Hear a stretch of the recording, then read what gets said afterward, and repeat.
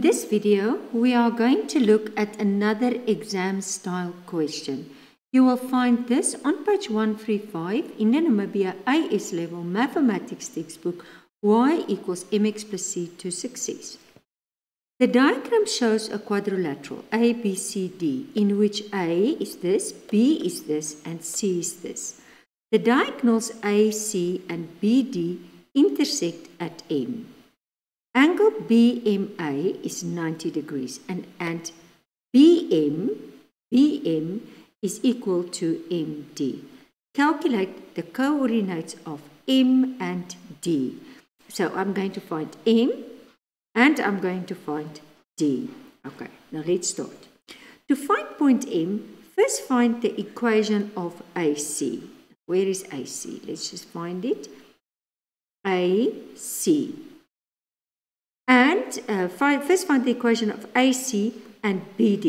Because you have, you have two points, you know it's perpendicular. So start with the one where you have the two points to find that gradient and the equation.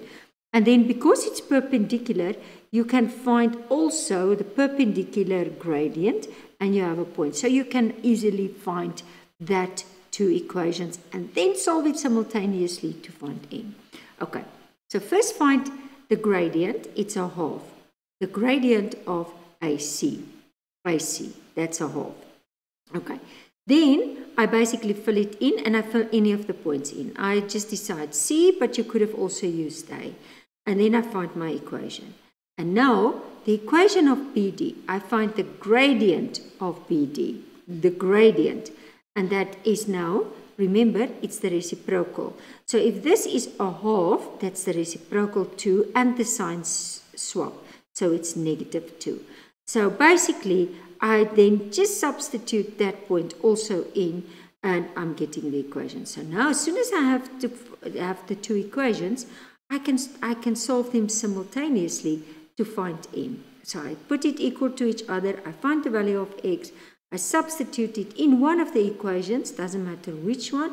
I found y, and there is my, my coordinate of m. Okay, find the vectors from b to md. Uh, okay, let's, we, we just want to say. Okay, the coordinates of m and d. Now, where is d? So now I, I do this vector method here.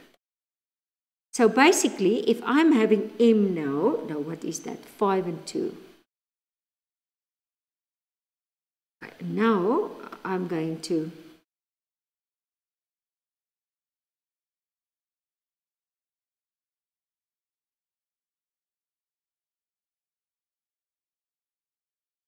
Okay, so let's first find the x. So it's 3 to 5, that's 2 units.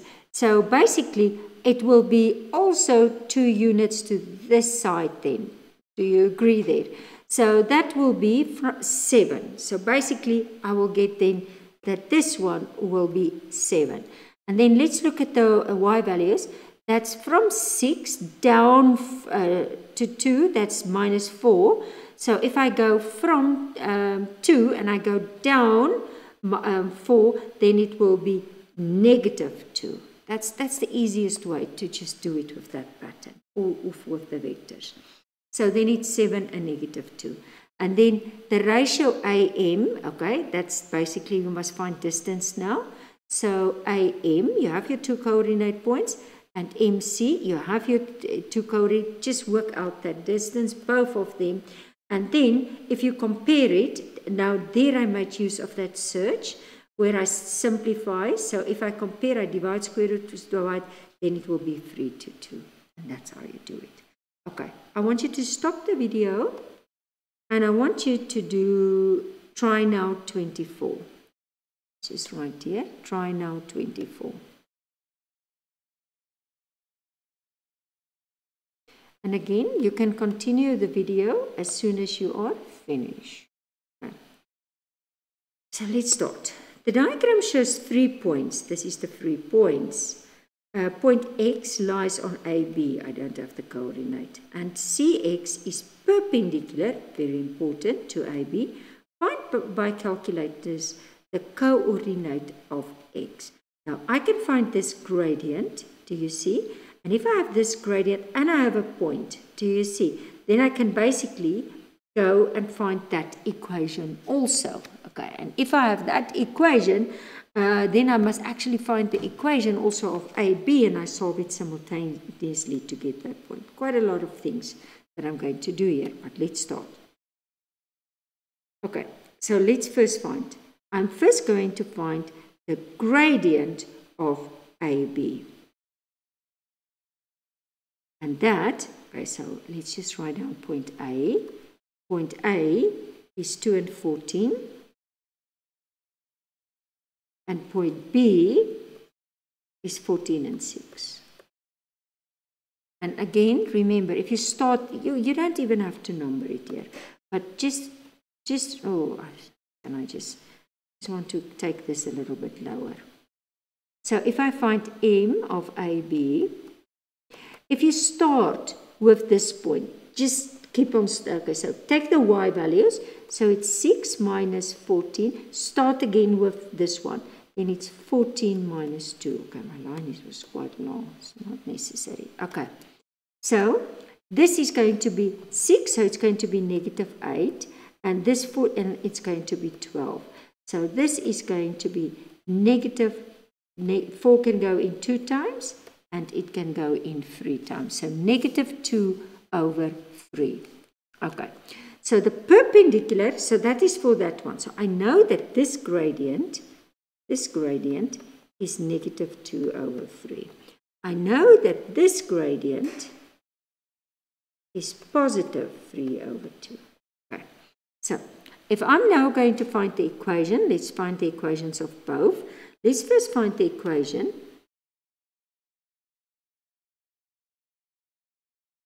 of AB because I'm, I'm working with that one now.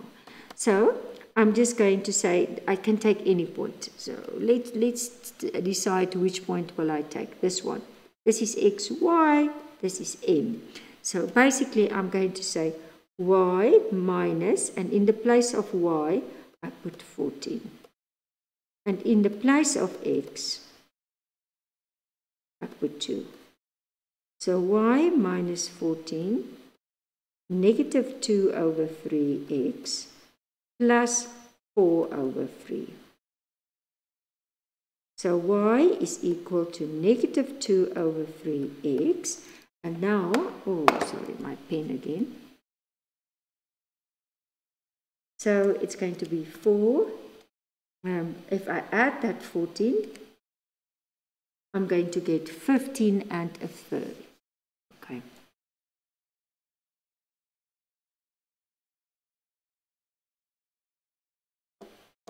Okay. Now I'm going to find the equation of this perpendicular one. So let's make the equation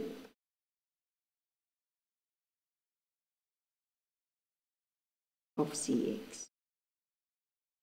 Okay, so I'm first going to find, so m Cx, don't forget it's perpendicular. So basically, it's going to be positive 3 over 2. And point C is going to be 7 and 2. Then it's going to be x1, y1. And then it's y minus y1. It's 3 over 2, x minus x1. And this is going to be y minus 2, 3 over 2x minus 21 over 2. And if I simplify this, I'm going to say y is equal to 3 over 2x. And then it's going to be, let me see, 2 plus that 2. It's going to be negative 8 and a half.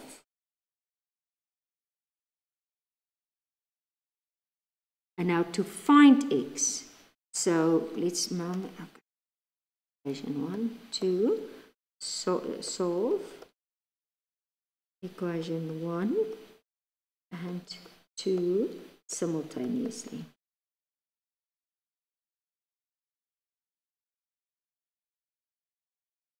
then I'm going to basically get um, negative 2 over 3. I keep on forgetting that x. Okay, luckily if I look up and the same, if you look up and you see mistakes, please correct it. Negative 2 over 3x plus 15 and a third is equal to 3 over 2x minus 8 and a half. So negative 2 over 3x minus 3 over 2x equal to negative 8 and a half minus 15 and a third.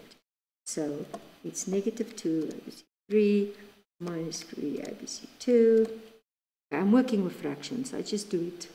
If it's, if it's necessary, I use my calculator just to spare a little bit of time. So negative. Mm. Okay, let's just um,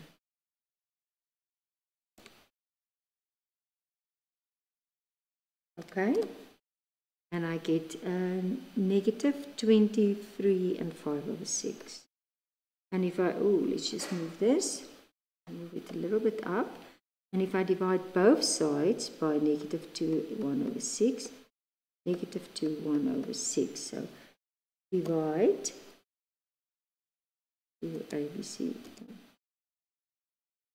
and then I get neg um, 11 because it's positive. And if I want to find the value of y, I just substitute it anywhere. Let's do it in the green.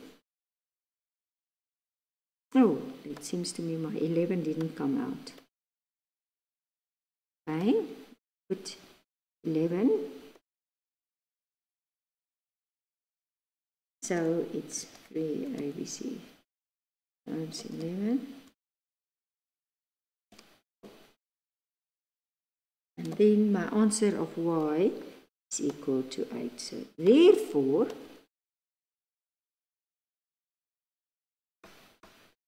x is equal to 11 and 8. Okay, and then the final one, the, uh, the ratio of ax and xb.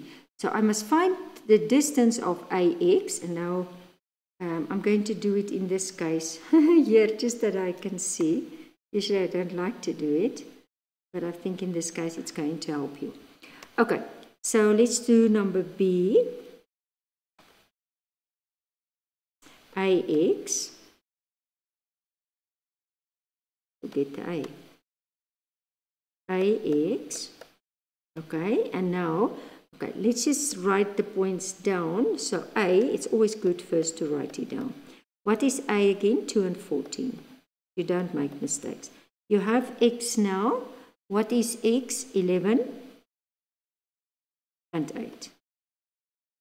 And then it's going to be, that, okay, Y, 11 minus 2 squared plus, remember you start here, so it's 8 minus 14 squared